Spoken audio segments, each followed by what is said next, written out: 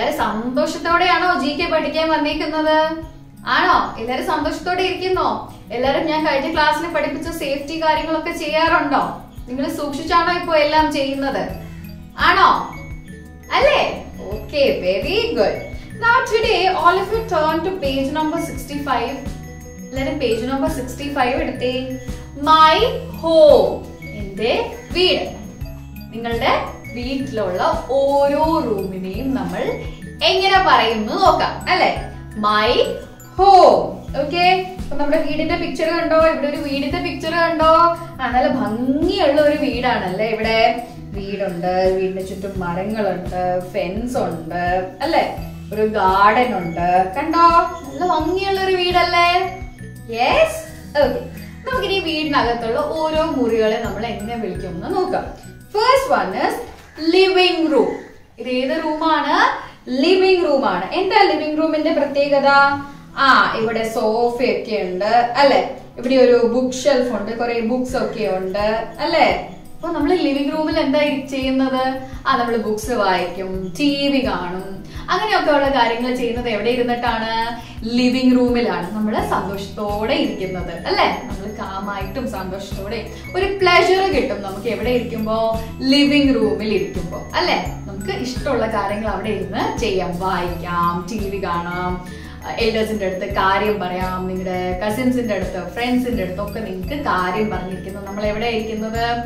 Yes living room ആണ്. So this is a living room ഇത് എന്ത് റൂമായത് ആ ലിവിംഗ് റൂമാണ് അടുത്തതോ ഡൈനിങ് റൂം ഡൈനിങ് എന്ന് പറഞ്ഞാൽ എന്താ? ഫുഡ് കഴിക്കുക. അപ്പൊ ഫുഡ് കഴിക്കുന്ന സ്ഥലമാണ് എന്ത്? ഡൈനിങ് റൂം എന്ന് പറയുന്നത്. അപ്പൊ നിങ്ങൾ എവിടെയിരുന്നാ ഫുഡ് കഴിക്കുന്നത്? ഡൈനിങ് റൂം എവിടെയാണ്?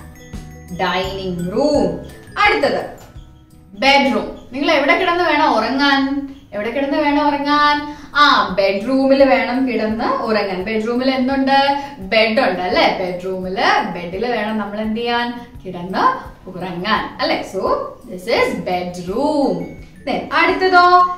കിച്ചൺ കിച്ചണിൽ എന്താ? ആ നമ്മൾ ഫുഡ് കുക്ക് ചെയ്യും. അല്ലെ? നമ്മൾ ഫുഡ് കുക്ക് ചെയ്യുന്ന എവിടെയാണ്? ആ കിച്ചണിലാണ് കിച്ചണിലാണ് ഫുഡ് കുക്ക് ചെയ്യുന്നത് അല്ലേ? എല്ലാരും കിച്ചണിലൊക്കെ കേറോ? കിച്ചണിൽ കയറി പേരൻസിനെ ഹെൽപ്പ് ഒക്കെ ചെയ്യോ? ചെയ്യോ? ആ അപ്പൊ ഒരു കാര്യം ശ്രദ്ധിക്കണം.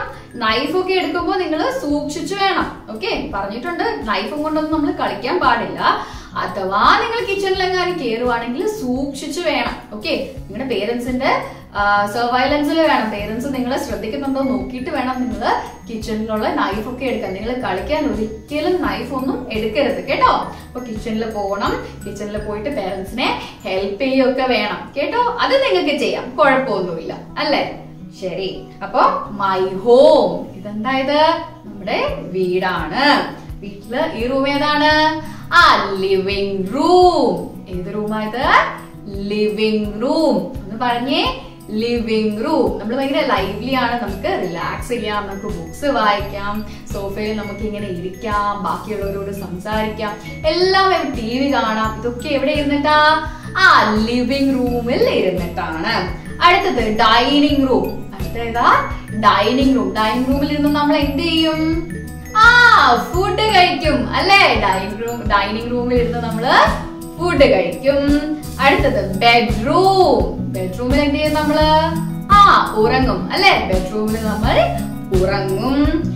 കിച്ചണിലോ കിച്ചണിലാണ് ഫുഡ് കുക്ക് ചെയ്യുന്നത്. കിച്ചണിലാണ് എന്ത് ചെയ്യുന്നത്? ആ ഫുഡ് കുക്ക് ചെയ്യുന്നത്. അപ്പൊ ഞാൻ നിങ്ങളോട് പെട്ടെന്ന് ഒന്ന് ചോദിക്കട്ടെ. ശരി? നിങ്ങൾ ഫുഡ് കഴിക്കുന്ന ഏത് റൂമിലിരുന്നാ ഏത് റൂമിലിരുന്നാ നിങ്ങൾ ഫുഡ് കഴിക്കുന്നത്? പറഞ്ഞേ. പറഞ്ഞേ? ആ വെരി ഗുഡ് ഡൈനിങ് റൂം എവിടെ ഇരുന്നിട്ടാണ് നിങ്ങൾ ഫുഡ് കഴിക്കുന്നത്? ഡൈനിങ് റൂമിൽ ഇരുന്നിട്ടാണ് നിങ്ങളുടെ വീട്ടിൽ എവിടെയാ ഫുഡ് കുക്ക് ചെയ്യുന്നത്? എവിടെയാ ഫുഡ് കുക്ക് ചെയ്യുന്നത്? എക്സലന്റ് കിച്ചൺ എവിടെയാണ്? Kitchen so living room dining room bedroom kitchen ഇത് നാലുമാണ് എന്ത് ഒരു മൈ ഹോം നമ്മുടെ ഒരു വീട്ടിലെ മെയിൻ ആയിട്ടുള്ള റൂംസ് എന്ന് പറയുന്നത്. മനസ്സിലായോ?